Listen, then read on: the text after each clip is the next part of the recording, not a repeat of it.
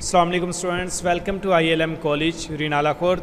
Myself Zahiruddin Babar from Department of Computer Science. आज के lecture number 11 में जो क्वेश्चन हम कवर करेंगे वो है what are the mark and character recognition devices and the write the short note on the followings dear students last lecture में हमने डायरेक्ट इनपुट के बारे में पढ़ा था और उसके बाद बारकोड के बारे में पढ़ा था और बारकोड रीडर के बारे में पढ़ा था ठीक है स्टूडेंट्स आज हमने क्या पढ़ना है? Mark and character recognition devices पढ़ना है। ओके स्टूडेंट्स इनमें सबसे पहले है एम आई सी आर फिर O M R then O C R magnetic strip card and last में है स्मार्ट कार्ड ये डिवाइसेस का नाम है, ठीक है? ये सारी क्या हैं? डिवाइसेस का नाम है, जो डायरेक्ट इनपुट को क्या करती हैं? प्रोसेस करती हैं। चलें स्टार्ट करते हैं। Mark and character recognition devices क्या होती हैं? Mark and character recognition devices are input devices they are use to scan information printed on the paper ये ऐसी डिवाइसेस हैं इनपुट डिवाइसेस हैं, जो कि पेपर के ऊपर जो इंफॉर्मेशन प्रिंटेड होती है, उन्हें स्कैन करती हैं। स्कैन करने के बाद क्या करती हैं? This devices read the information and convert into digital signal these signal are input to computer for further processing देखिए students mark and character recognition devices ऐसी डिवाइसेस हैं जो कि पेपर के ऊपर जो डाटा प्रिंटेड होता है, उसे स्कैन करती है। स्कैन करने के बाद उन्हें डिजिटल डिजिटल सिग्नल्स में कन्वर्ट करती हैं ताकि उन्हें कंप्यूटर प्रोसेस कर सके। ओके स्टूडेंट्स अब मार्क एंड करेक्टर रिकॉग्नाइजेशन में जो सबसे फ़र्स्ट डिवाइस है, उसका नाम है आर इसका मतलब क्या है? Magnetic ink character recognition devices okay students dear students आपने ये देखे चेक है। आपने चेक देखा होगा चेक बुक में जो चेक होता है, उसमें डिफरेंट जो इंफॉर्मेशन है, जैसा कि चेक नंबर है मैग्नेटिक इंक करेक्टर कोड है अकाउंट नंबर है ट्रांसैक्शन कोड है, ये जो इंफॉर्मेशन होती हैं, ये एक स्पेशल इंक के साथ प्रिंटेड होती हैं। हर चेक के ऊपर अकाउंट नंबर उसके बाद अकाउंट ओनर नेम और डिफरेंट इंफॉर्मेशन जो होती हैं, वो प्रिंटेड होती हैं, एक इंक के साथ, वो स्पेशल इंक यूज़ की जाती है ओके और उस इंक को जो डिवाइस रीड करती है, जो डिवाइस उसे अंडरस्टैंड करती है, उसे क्या बोलते हैं? Magnetic ink character recognition devices okay student अब ये किस लिए यूज़ की जाती हैं? देखिए स्टूडेंट्स ये यूज़ की जाती है बिज़नेस के अंदर या ज़्यादातर बैंक सिस्टम्स के अंदर ये यूज़ की जाती हैं। अब देखें, ये चेक को वेरीफाई करती हैं।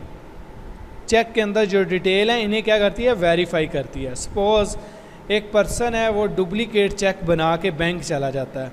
अब वो बैंक में जाए तो वो क्या है कि बैंक के बैंक वाले उस चेक को एक डिवाइस है मैग्नेटिक इंक करेक्टर रिकॉग्नाइजेशन इसमें से क्या करवाते हैं? वो पास करवाते हैं।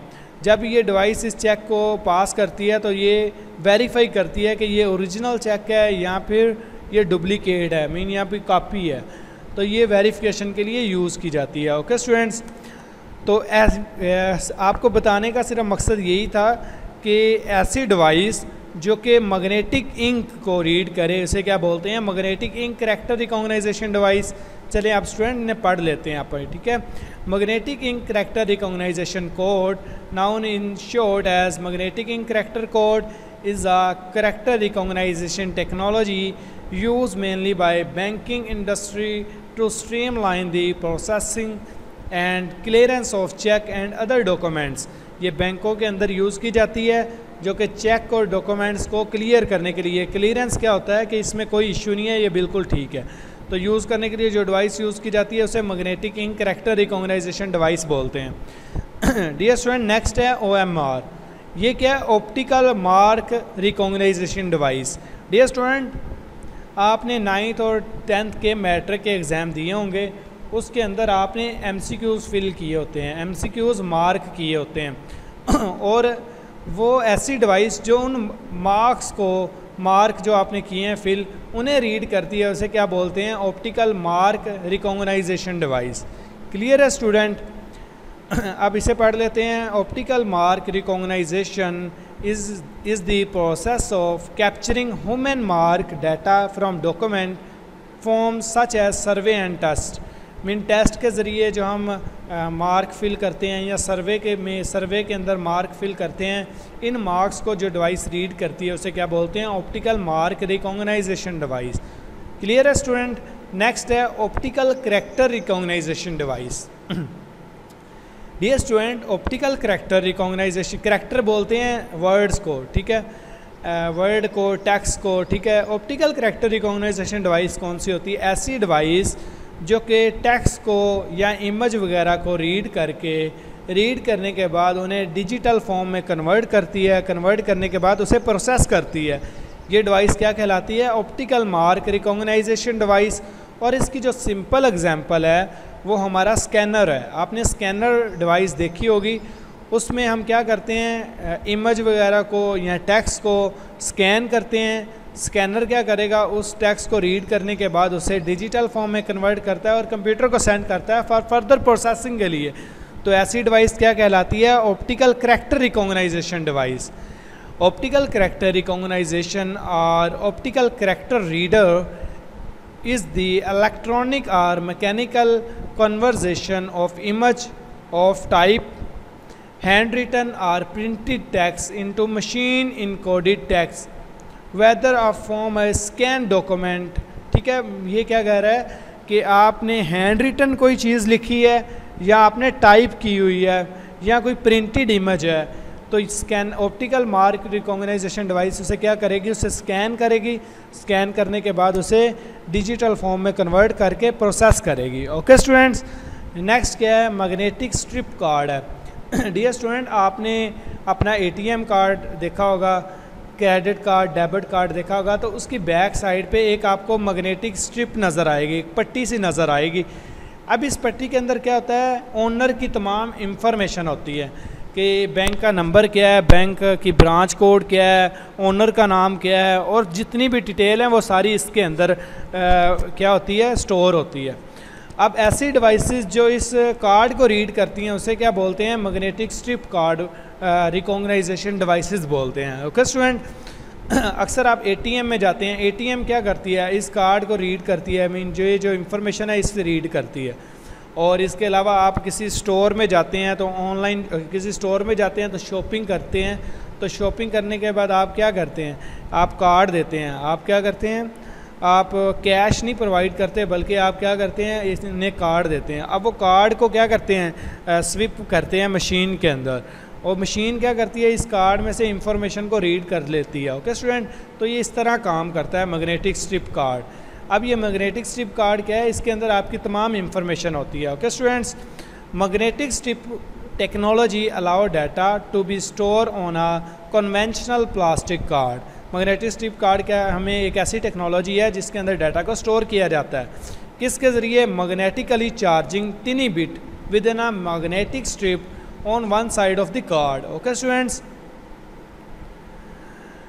अब ये क्या करता है? ठीक है? This type of technology has large built the new credit and debit card models ये कार्ड के अंदर होती है which has to certain extend replace cash transaction around the world अब इसने क्या कर दिया है कि आपको कैश की ज़रूरत नहीं है। आपके पास अगर कार्ड है इस तरह का तो आपको कैश उठाने की ज़रूरत नहीं है, बल्कि आपने जो भी शॉपिंग करनी है तो उसके बाद आपने कार्ड के ज़रिए पेमेंट करनी है। ओके स्टूडेंट्स लास्ट में क्या है? स्मार्ट कार्ड आप स्टूडेंट्स आपका अगर आईडी कार्ड बना हुआ है तो उसे क्या बोलते हैं? स्मार्ट कार्ड बोलते हैं। अब उसे स्मार्ट कार्ड क्यों बोलते हैं? क्योंकि उसके अंदर एक इलेक्ट्रॉनिकली चिप होती है एम्बेडिड एम्बेडिड की होती है, इस तरह की चिप होती है। अब इस, ये क्या है, इस चिप के अंदर आपका कंप्लीट डाटा है। ओके स्टूडेंट ये दरअसल गवर्नमेंट पर्पज़ के लिए यूज़ की जाती है। मीन आपके अगर ये कार्ड है तो अगर इस कार्ड को हम डिवाइस के अंदर लगाएँगे तो आपकी कंप्लीट डिटेल कि मीन इसका नाम क्या है, और इसका फैमिली नंबर क्या है, और ये किस एरिया से बिलोंग करता है तो वो सारी इंफॉर्मेशन आ जाती है। ओके स्टूडेंट्स और इसके अलावा ये रिसोर्स मैनेज के लिए भी यूज़ की जाती है। स्मार्ट कार्ड बोलते हैं। उसे स्मार्ट कार्ड क्यों बोलते हैं कि उसके, क्योंकि उसके अंदर एक इलेक्ट्रॉनिकली चिप लगी हुई है। उस चिप के अंदर आपका कंप्लीट डाटा स्टोर होता है और ये गवर्नमेंट पर्पज़ के लिए इस्तेमाल किया जाता है। सपोज़ आपका ये कार्ड है, जब इसे मशीन में लगाया जाता है तो हमें पता चलता है कि इसका नाम क्या है, ये किस फैमिली से बिलोंग करता है, किस एरिया से बिलोंग करता है और इसके रिलेटेड जितनी भी इंफॉर्मेशन है पर्सन से रिलेटेड वो सारी शो, हमारे सामने शो हो जाती है ओके स्टूडेंट्स तो ये क्या है? वेरिफिकेशन कार्ड होता है ओके स्टूडेंट आप पढ़ते हैं इसे ए स्मार्ट कार्ड और चिप कार्ड और integrated circuit card is a physically electronic electronic authorise device use to control access of the resource ये रिसोर्स को मैनेज करने के लिए इस्तेमाल की जाती है। आप, इससे क्या मत, मराद है? देखिए स्टूडेंट्स आप एक बैंक में गए हैं तो बैंक के पास क्या है एक मशीन लगी हुई है। उस मशीन पे आपने अपना स्मार्ट कार्ड लगाना है। जब आप अपना स्मार्ट कार्ड लगाएँगे तो वो आइडेंटिफाई करेगी कि ये क्या है ऑथराइज पर्सन है। मीन कि ये बैंक का एम्प्लॉय है। जब आप ये कार्ड लगाएँगे तो वो आपको क्या करेगी, इजाज़त देगी कि ये बैंक का एम्प्लॉय है, इसे अंदर जाने दें। लेकिन अगर एक अनऑथराइज पर्सन आया तो जब वो कार्ड लगाएगा तो वो बता देगा कि ये अनऑथराइज पर्सन है, ये बैंक का एम्प्लॉय नहीं है, ये कोई गेस्ट है या कोई अदर पर्सन है। तो फिर इसे गेस्ट रूम में दाख, भेज दिया जाता है या दूसरी जगह पे। मीन जो उन्होंने एक पूरा सिस्टम बनाया होता है, उसके मुताबिक काम करते हैं वो। ये एक सिंपल एग्जांपल थी रिसोर्स को मैनेज करने के लिए, कि मीन रिसोर्स किस तरह मैनेज किए जाते हैं। आपने देखा होगा, अक्सर और भी बहुत सारी एग्जांपल हैं, लेकिन स्मार्ट कार्ड में क्या होता है? आपकी सारी इंफॉर्मेशन इसमें मौजूद होती हैं। ओके स्टूडेंट तो ये जो हमने आज पढ़ा है, ये क्या है? डायरेक्ट इनपुट के लिए यूज़ की जाती हैं। डायरेक्ट इनपुट क्या होती है? जो डायरेक्टली हम कंप्यूटर को सेंड करते हैं। और ऐसी डिवाइसेस जो डायरेक्ट इनपुट को रीड करती हैं, उन्हें डायरेक्ट इनपुट डिवाइसेस बोलते हैं। ओके स्टूडेंट्स इसी के साथ हमारा जो लेक्चर है, वो आज ख़त्म होता है। आप स्टूडेंट्स ने ये क्वेश्चन अच्छे तरीके से याद करना है। ये बहुत दफ़ा शॉर्ट क्वेश्चन पेपर में आ चुका है। आप स्टूडेंट को अगर कोई भी क्वेश्चन है, किसी चीज़ की समझ नहीं आई तो आपने लाजमी पूछना है। इन आपके हर क्वेश्चन का आपको प्रॉपर आंसर प्रोवाइड किया जाएगा।